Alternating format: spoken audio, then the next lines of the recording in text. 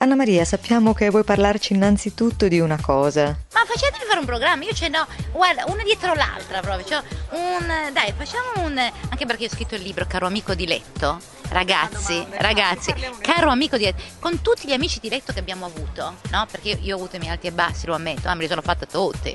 Perciò, quindi, con tutti i poi c'è l'amico di letto del cuore, che è importante, e noi leggiamo una pagina al giorno che toglie appunto la malinconia di torno per esempio, sono, dice delle cose serie e soprattutto contribuisce a un progetto, perché questo libro è stato scritto per la donna, per amore, per amore dell'incontro e poi c'è un incontro serio con il professor Martino che tutti conoscono perché è uno scienziato di fama mondiale.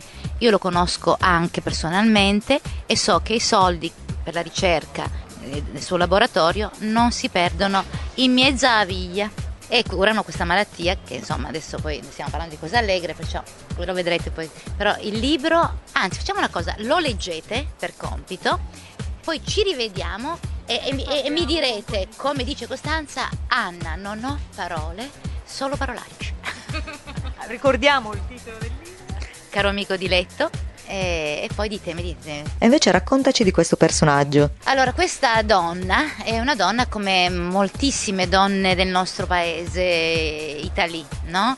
È una madre in Italy, diciamo, no? Questa donna.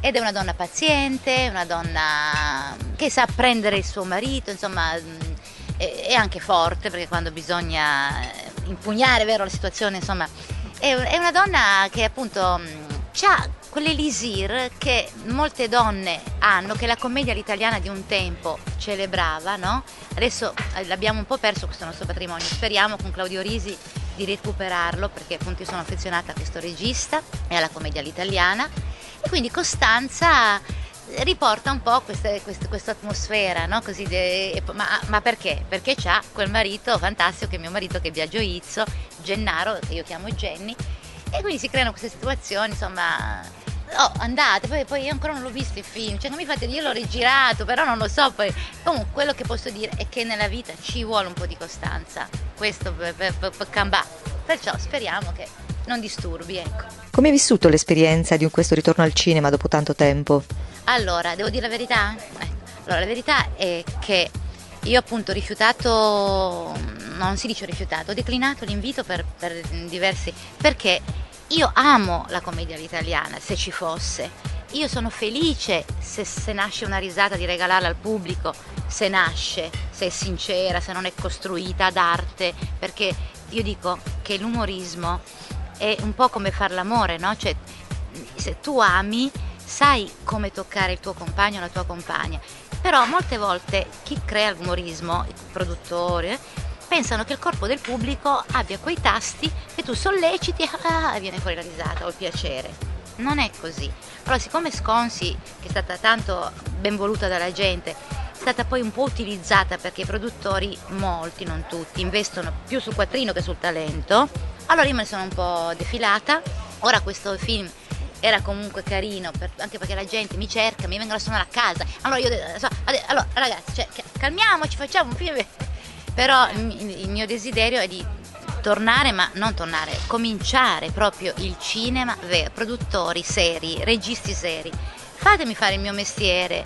Io sono un'attrice, devo essere interprete delle donne del mio tempo. Oggi una risata, domani una lacrima, dopodomani un grido, una denuncia. Se no il mio lavoro non lo consegno, campo di rendita su un personaggio e questo non è onesto. Eh, si percepisce anche insomma, da quello che ha appena detto una volontà di svincolarsi da quello che è il personaggio che l'ha resa celebre televisivamente, appunto di sperimentare, di mettersi in gioco. Ma non è il personaggio da cui io mi voglio svincolare, ma l'uso che talvolta ne viene fatto. Mentre la gente che è venuta in teatro, che veramente mi, mi, mi dà tanto affetto, ma sul serio ragazzi, io non posso andare anche in ospedale per come a me commuove e quindi io devo fare il mio lavoro con onestà però da sola non posso perché senza la gente non si fa niente però neanche senza i produttori neanche senza voi giornalisti che mo eravate una radio così allegra mo tutto sul discorso serio cioè non va bene hai appena fatto riferimento alla grande commedia italiana quali sono gli autori e film in generale che ami di più? sicuramente tutte quelle di De Sica, Vittorio poi anche di Norisi però però abbiamo Claudio e, e confidiamo confidiamo Ti piacerebbe misurarti quindi con un ruolo drammatico? Devo liberare la mia anima, che essendo un'attrice non è poi mia, ma è, volevo dire, una cosa seria. E tu, e tu, e tu, e l'anima di lì. Parliamo di palco e del prossimo eh? spettacolo, del prossimo progetto teatrale. Allora, eh, il progetto teatrale c'è già, eh. sapete già tutto.